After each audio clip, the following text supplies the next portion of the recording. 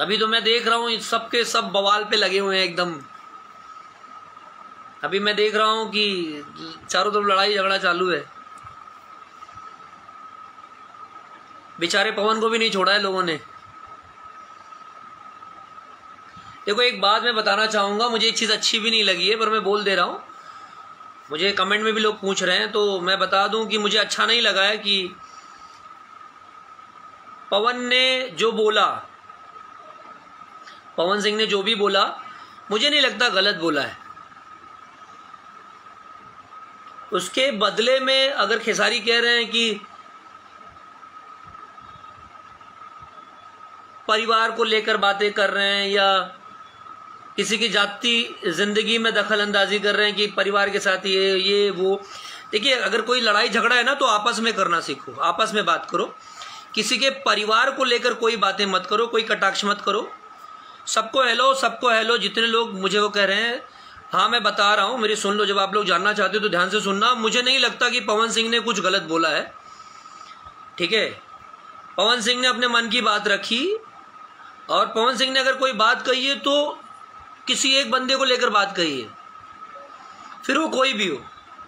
किसी, उसके परिवार को, उसकी बहन बेटी को या उसके घर में घुस के कोई बातें नहीं कही।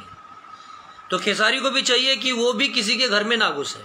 और ये वो जो कह रहे हैं कि खेसारी ने जो कहा कि मुँह से उल्टी कर देते हैं, मुँह से हग देते हैं सब शब्द अच्छा नहीं लगता, ठीक है? आप तो मुँह से ही कर देते हैं।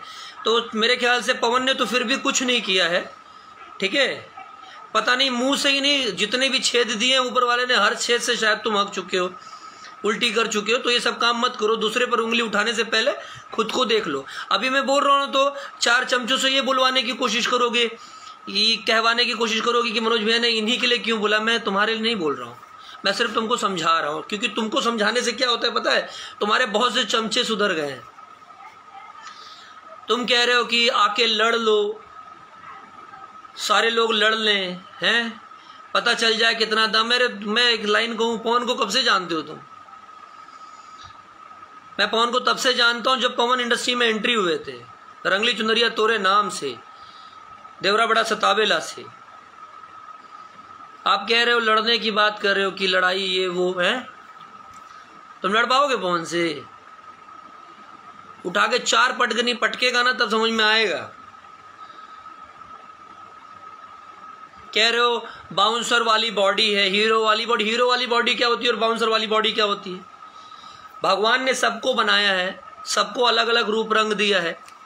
उसमें कुछ बात है तभी ना उसको भी पब्लिक पसंद करती है। मैं गलत कह रहा हूँ तो बताओ। हैं? फ़ोन नहीं उठा सकता तो कोई फ़ोन मत करना। आप लोग बताओ, भगवान ने सबको बनाया है। अगर उसकी भी, अगर मैं कह रहा हूँ पवन के चार ही फ़ैन हैं, लेकिन उसके अपने चार फ़ैन है ना। क्यों है? क्योंकि कुछ खास बात है उसमें तो उसके फ़ैन है। कह रहे हीरो जैसी बॉडी नहीं है डांस करना नहीं आता, ये नहीं आता, वो नहीं आता। भगवान ने खाली गला दे दिया है। अरे, कुछ तो दिया है, हैं? किसी को इतना दिया है, इतना। तो क्या, उसको एक ही दिया है, लेकिन एक ही से वो भारी है तो उसके लिए क्या करोगे? और उसने क्या गलत कहा? रोज रोज ट्रेंडिंग ट्रेंडिंग ये ट्रेंडिंग होता क्या है? हैं। चार ठो यूट्यूब चैनल बना के उस पर चापे रहो चापे रहो, बस वही ट्रेंडिंग हो गया। आज तक पे न्यूज़ चल रही है कि किस पे चल रहा है, बताओ मुझे। कौन से नेशनल चैनल पे न्यूज़ चल रही है, जिसको बड़ा ट्रेंडिंग ट्रेंडिंग हाँ के बताए दे रहे हो? और किसी के घर परिवार में घुसकर बातें कर रहे हो? बिना मतलब राजपूत और यादव दोनों को लड़ा रहे हो। और यहाँ वॉल पे भी जितने राजपूत और जितने यादव हैं अपना दिमाग ठीक कर लो पहले, इसलिए ठीक कर लो, क्योंकि ये जो जातिवाद करवाता है ना, ये जातिवाद के चक्कर में मत पड़ो। अगर किसी में टैलेंट है तो उसके टैलेंट की इज़्ज़त करो। और उसने क्या गलत कहा? रोज रोज उंगली उसको कियो कियो। क्या उसके गाने हिट नहीं होते हैं? उसके गाने नहीं बजते हैं? मैं भी पसंद करता हूँ पवन के गाने, उसके लिए क्या? तो कह रहे हो, लड़ लो तो एक काम करो, मैं रेफरी बन जाता हूँ, मैं। रेफरी बन जाता हूँ। दोनों लोग लड़ो, अपने आप पता चल जाएगा मैं किसका हाथ ऐसे ऊपर उठाऊँगा। ये चार पटकना पटकेगा ना सुधर जाओगे तुम्हारा लड़ने वड़ने की बात मत करो। कुछ भी हो, है दम पवन में तो है। इंसान को उतना बोलना बोलना चाहिए ना, जितना जितना उसकी क्षमता हो एक्स्ट्रा नहीं बोलना चाहिए। उस बेचारे को इतना कोच दियो पवन को कि मजबूरी में आकर उसने फिर ये ऐसे वो बोला है। हर बार कहते हो लाइव में आता है, ये कहता है, वो कहता है, नहीं बोलता है, नहीं बोलता है, खुद ही कहते हो ना, नहीं बोलता है। हर बार कहते हो कि बोलता है कि नहीं बोल रहा हूँ, नहीं बोल रहा हूँ। तो इतनी बार जब समझा रहा था तो समझ में नहीं आ रहा था। क्यों उंगली किए बताओ? और सबसे बड़ी बात, उसमें दोष निकाल रहे हो कि मंच पे आकर ये करते हो, मंच मंच पे आकर तुम कितना हगते हो, तुमको दिखता है। मैं तुम्हारी लैंग्वेज में तुमको समझा रहा हूँ, तुम कितनी उल्टी करते हो, तुमको पता है? कहते हो, मैं नाम इसलिए लेता हूँ क्योंकि मैं इज़्ज़त करता हूँ। तो देखो, मैं भी तुम्हारा नाम इसलिए ले रहा हूँ क्योंकि मैं भी तुम्हारी इज़्ज़त कर रहा हूँ, पता है? अरे, उसने तो नाम भी नहीं लिया था। तुम ज़बरदस्ती उसका नाम लेकर घुसे पड़े हो। इसलिए क्योंकि किसी बहाने तुम ट्रेंडिंग नहीं, वो गलती से ट्रेडिंग में आ जाओ थोड़ा सा तुम्हारा कुछ चल जाए। तुम चुप रहते, नहीं बोलते। वो उसने बोला था ना, तुम चुप रहते ऑडियंस अच्छी है, वो खुद ही जवाब दे देगी। ज़बरदस्ती कल तक पवन को चार लोग पसंद करते थे, चार यादव भी पसंद करते थे, चार ठाकुर भी पसंद करते थे, चार ब्राह्मण भी पसंद करते थे, चार जय भीम भी पसंद करते थे। जब से तुम उंगली करते हो जातिवाद का, तब से बेचारे उस जातिवाद के चक्कर में किसी कलाकार को कोई जातिवाद के नाम से नहीं पसंद कर रहा है, कोई किसी के नाम से पसंद नहीं कर रहा है। लोगों के YouTube चैनल्स पर, लोगों के YouTube वीडियोस पर तुम्हारे चार चमचे जो पाल के रखे हो, उन चमचों से क्या करवा देते हो लोग? गालियाँ माँ बहन की सबकी गालियाँ करवाते हो, हैं? तुमको क्या लगता है? अभी जाँच बैठेगी तो पता नहीं चलेगा, हैं? एक तुम ही पढ़े लिखे हो, बाकी सब अनपढ़ गवार हैं। पहले खुद सुधर जाओ यार, दूसरे पर उंगली उठाने से पहले छीटा कसी करने से पहले ना, खुद सुधर जाओ। किसी का कोई और मुद्दा होगा, अभी मैं बोलूँगा आम तो भी बोलेंगे चार चमचों को बुलवा कर कि, भाई, ये इसमें इनको बोला तुम्हारा तुरंत अपना नाम डलवा के उसमें घुसे रहोगे। क्या फ़ायदा? है? बच्चा कोई और पैदा करेगा, बाप का नाम देने के लिए खुद बैठे रहो क्यों ऐसा करते हो? बताओ मुझे। ज़बरदस्ती। बीच में मैंने एक कमेंट डाला था माँ और उसको लेकर। तो चार लोगों ने उल्टा पुल्टा लाइन डालना चालू कर दिया। है? कि ये है, वो है। उसने पलट के कुछ बोला? और पहली बात बता देता हूँ वॉल पे याद रखना, अगर किसी की माँ बहन के लिए किसी ने उल्टा कहा, फिर चाहे वो कोई भी हो, तुम्हारी माँ बहन तुम्हारी परिवार के बारे में कोई उल्टा नहीं कहता। यहाँ तक आज तक मैंने भी कभी नहीं कहा, किसी ने कुछ नहीं कहा। अगर तुमको पर्सनल किसी से मतभेद है तो उसको मिल लो गेट टुगेदर बैठ जाओ। आपस में समझ लो। तुम ज़बरदस्ती की बातें क्यों कर रहे हो यार? आदमी जब चिढ़ेगा तो चार उल्टी बातें भी करेगा। तुमने चिढ़ाया उसने थोड़ा सा बोल दिया और क्या कह दिया? उसने तुम्हारे घर परिवार के बारे में बोला। कहते हो दारू पी के तुम कितना पीते हो पता नहीं है। हम्म? कौन कितना पीता है पता नहीं है। उसने जरा सा खाली कह दिया, ऐसे खाली ठेंगा दिखा दिया तो इतना बुरा लग गया। और तुम चाची के बाची पता नहीं किसको किसको सारे रिश्तों की माँ बहन कर देते हो तो उसका क्या? खुद को बड़ा बुरा लगता है कि सारा बुरा तुम्हारे अंदर ये बाकी दुनिया को तो बुरा लगता है नहीं। बुरा लगने का सॉफ्टवेयर लगता है सबने निकाल के फेंक दिया है। बताओ हमको।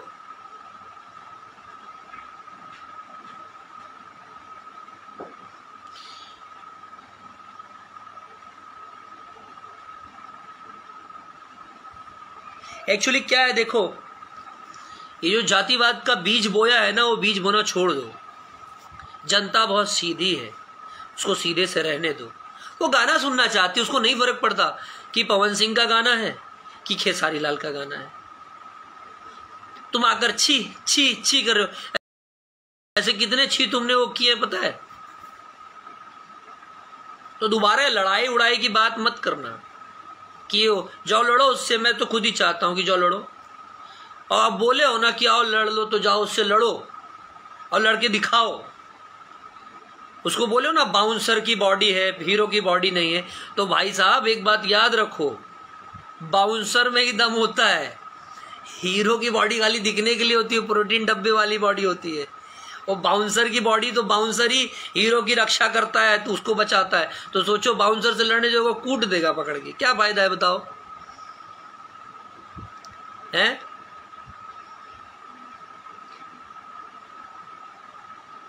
आगे से ना सोचो, समझो यार, बिना मतलब किसी में टांग मत अड़ाओ। अच्छा खासा उसका भी गाना आ रहा है, तुम्हारा भी गाना आ रहा है, आपस में रहो, शांति से रहो। तो जो भी जो भी कोई अगर कोई बात कह दे तो उसने दारू पी लिया है, हैं? मैं नहीं पीता हूँ ज़बरदस्ती, मुझे भी बीच में तुमने कह दिया था कि दारू पी के बोल रहे हैं तुम्हारे मैनेजर साहब ने। और तुम कितना पीते हो? पता नहीं कितनी फ़ोटो तो आ गई है। देख लो अभी खुद ही सोशल मीडिया पे चेक कर लो कितनी फ़ोटोज़ आ गई है।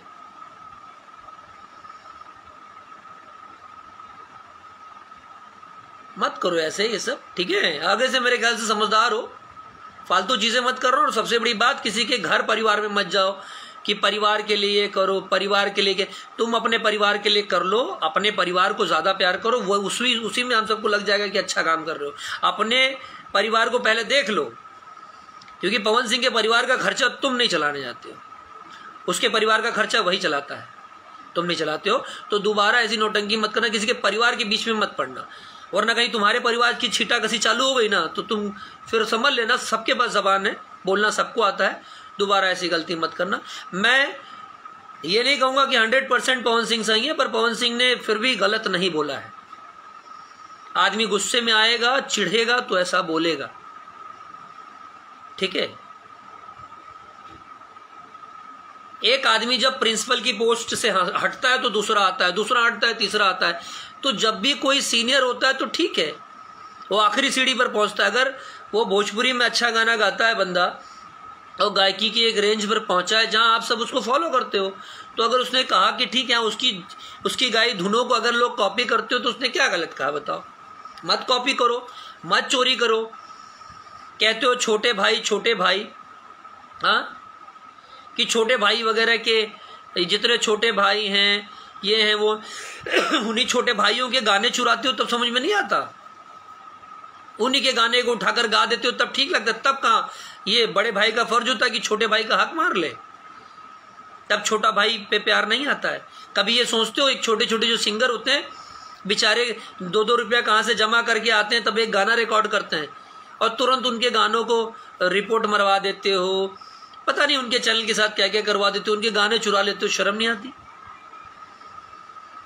इंसान हो यार, इंसान बन के रहो। और प्रवचन मत दिया करो, क्योंकि तुम्हारा प्रवचन, आजकल मैंने देखा, ज़्यादा प्रवचन देते हो ना तो उसमें बहुत सी हम लोगों की चीज़ें, जो हम अच्छी अच्छी बातें बोलते थे, कम से कम, ना चाहते हुए भी, बिना मन के, हमारी अच्छी अच्छी बातें कम से कम मुँह से निकालने तो लगे हो। बहुत अच्छा है, बहुत अच्छा कर रहे हो, बहुत अच्छा गंदा गाना धीरे धीरे कम से कम कम किया ना? तो ये सब हरकतें भी धीरे धीरे कम हो जाएँगी।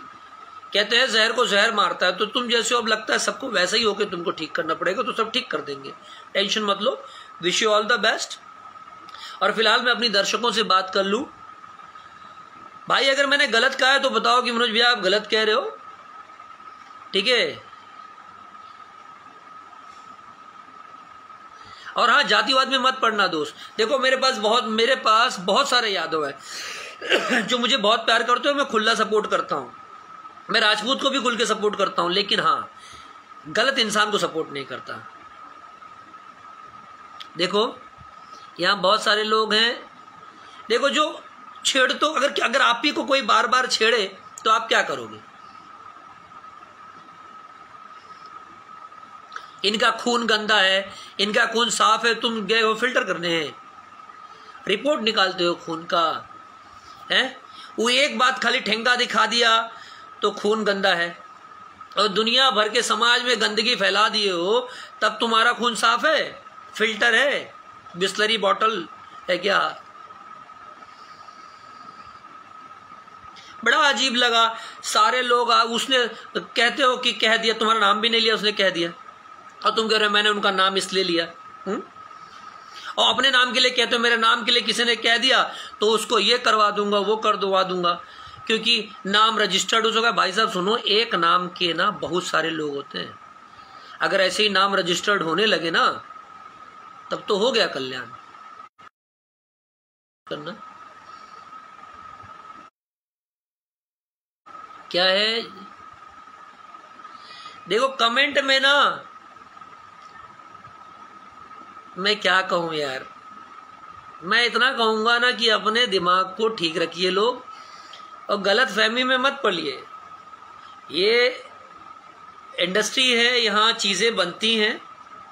फ़िल्म बनता है, फ़िल्म बनती है, एल्बम्स निकलते हैं, आप लोग उसका मज़ा लीजिए।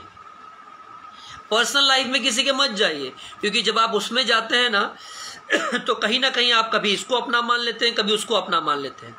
और उस चक्कर में ना, आप अपने, आप आप आप फिर किसी की, किसी के कोई गाने नहीं सुनते, किसी को कोई गाने कोई गाने नहीं सुनते। आप जो इंटरटेन चाहते थे ना, वो आप नहीं ले पाते हैं। तो आप किसी के चक्कर में मत पड़िए। किसी की पर्सनल लाइफ में आगे से मत इंटरफेयर करना, इतना बता दे रहे ये अच्छी बात नहीं है, क्योंकि तो अगर तुम्हारी बहन बेटी की, घर परिवार की कोई इज़्ज़त करता है तो तुम्हारा भी फ़र्ज़ बनता है कि दूसरे के पर्सनल ज़िंदगी में मत जाओ। उंगली मत करो। बार बार कह रहे हो, दारू दारू। कौन दारू नहीं पीता और तुम्हारे स्टाफ का कौन बंदा दारू नहीं पीता मुझे बता दो। और क्या गलत कहा? यूट्यूब पे सब डलवाते हो, धीरू भाई अंबानी के सामने इतना बड़ा घर इनने इतनी बड़ी गाड़ी, इतना बड़ा ये, है? तो जब इतने बड़े बड़े झूठ बोल सकते हो यूट्यूब पे करवा सकते हो लोग तो उस बंदे ने क्या कहा कि अगर दो पाँच हज़ार में वहाँ जाके यहाँ जाकर गाते हैं तो क्या गलत कहा? जो बजट लिए हो वही बजट बोला उसने तो क्या गलत कहा उसने? बताओ। उसने सही को सही कह दिया तो गलत कह दिया। क्यों गलत कह दिया? उसने सही कहा ना तो क्या गलत कहा? जो करते हो उसको एक्सेप्ट करो ना। तो कि क्या कहते हैं यार? यार भूल गया देखो बार बार बार बार बार बार फ़ोन आ रहा है, है? सही को सही कह दिया तो वो गलत हो गया जब झूठ इतना बोल सकते हो, वो राइट्स है तो कोई सच बोले तो वो राइट्स नहीं है, हा? कम से कम जनता सच सुनेगी तो जनता को पता तो चलेगा कि यूट्यूब पे जो न्यूज़ आते हैं, वो 99.99 परसेंट झूठ है हा? भैया कमेंट एक मिनट हाँ हाँ एक चीज़ और कहेंगे, ये बच्चे ने सही बात कहा है कमेंट में कोई भी हो, कोई भी हो, किसी को भी आप माँ बहन की गाली मत दीजिए। गुस्सा आता है ना, आप ये कह दीजिए हाँ वो गलत है हाँ वो सही है। किसी को माँ बहन की गाली मत दीजिए। क्योंकि गलतियाँ आपकी या हमारी होती हैं माँ बहनों की नहीं होती। अगर आप लोग समझदार हैं और मेरी बात को समझ रहे हो तो मेरी बात को फिर से सुन लीजिए। किसी को कोई गलत है तो उसको कह दीजिए, ये गलत इंसान है, ये गलत इंसान है, ये गलत इंसान है, उतने में उसके लिए बहुत हो जाएगा। माँ बहन को गाली देकर ना, जो माँ बहन सही है, उनको गलत साबित मत करिए। उनकी कोई गलती नहीं है। उनकी सिर्फ़ यही गलती है कि हम लोगों की बहन होगी उनकी सिर्फ़ यही गलती है कि हम लोगों की माँ है। तो चाहे पवन हो, चाहे किसारी हो, किसी की माँ बहन को गाली मत दीजिए। किसी माँ बहन को नहीं खींचना चाहिए। ठीक है? उनकी इज़्ज़त करिए। ये अगर गलत है तो उनको समझाइए, जो कमेंट में लिख सकते हैं लिखिए पूरी छूट है, मेरी ओर से भी पूरी छूट है। कमेंट होता ही इसलिए कि आप अपनी राय कायम कर सके। समझे? और क्या कहूँ मैं? बहुत सारे लोग हैं। किसी को कुछ कहना तो बताओ, मैं उसको लाइव ले लेता हूँ। ले लूँ क्या किसी को? नहीं, बहुत बोल लिया मैंने। चलिए wish you all the best जियो भैया देखो, ये बात तो सही है कि बंदा अच्छा गाना गाता है, ठीक है? और चिढ़ाओ मत किसी को यार। मैं पवन को बहुत पहले से जानता हूँ। बहुत पहले से जानता हूँ, रंगली चुनरिया, तोरे ना वो पवन को पूछो कि पवन खुद ही बता देगा। इतना याद रखना कि लड़ाई वड़ाई वाली बातें मत करना, मैं उसको जानता हूँ, बहुत अच्छे से जानता हूँ। उठा के चार नहीं, आठ पटक पटकेगा, समझ में आ जाएगा। चलते हैं, जय श्री राम। ख्याल रखिए अपना लोग।